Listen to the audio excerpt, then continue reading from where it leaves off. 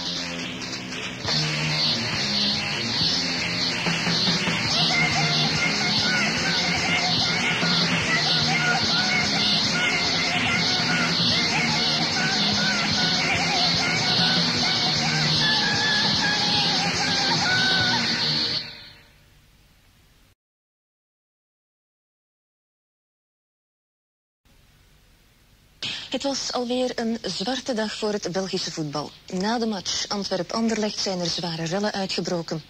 Hooligans hebben materiële schade in het Boshuilstadion aangericht.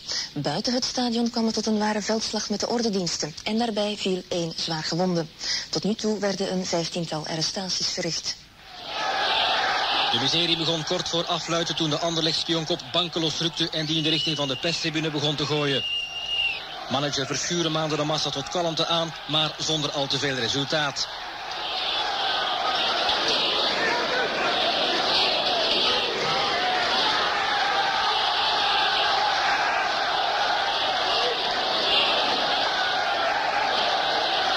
Sommige fans werden in het stadion opgepakt, maar bleven hardnekkig weerstand bieden.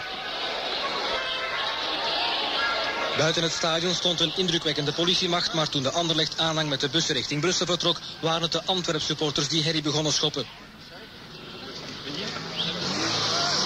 De rellen verplaatsten zich nadien naar de Bisschoppenhoflaan, waar enkele ruiten van omwonenden met stenen werden bekogeld.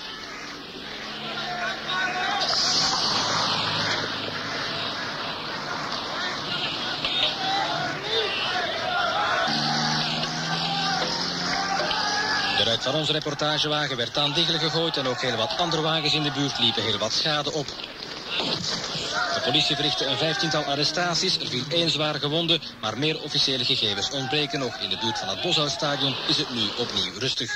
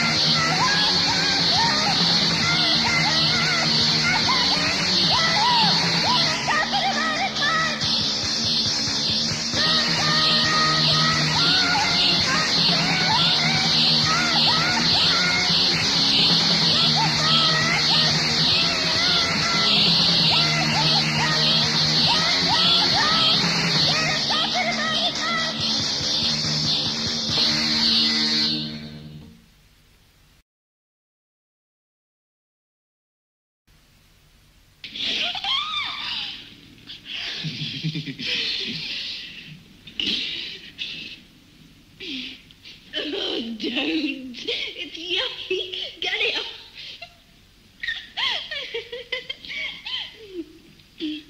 you bloody cane. What are you doing? Get off me!